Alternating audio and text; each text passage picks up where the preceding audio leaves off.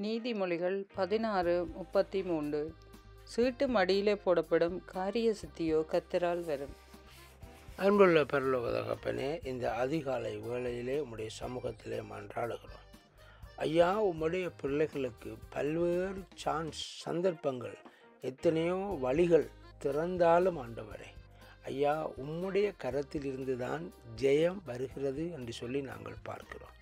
ஐயா இன்றைய நாளிலும் ஆண்டவரே பல்வேறு சந்தர்ப்பங்கள் வாசல்கள் திறக்கப்பட்டிருந்தாலும் சரியான இடத்தில் இருந்து உம்முடைய கரத்தினாலே பிள்ளைகளுக்கு காரிய சித்தி உண்டாகும்படி ஐயா தடைகள் நீங்கும்படி ஜெயம் கிடைக்கும்படி இன்றைக்கு நீர் ஒரு அற்புதம் செய்ய வேண்டும் என்று நாங்கள் மன்றாடுகிறோம்.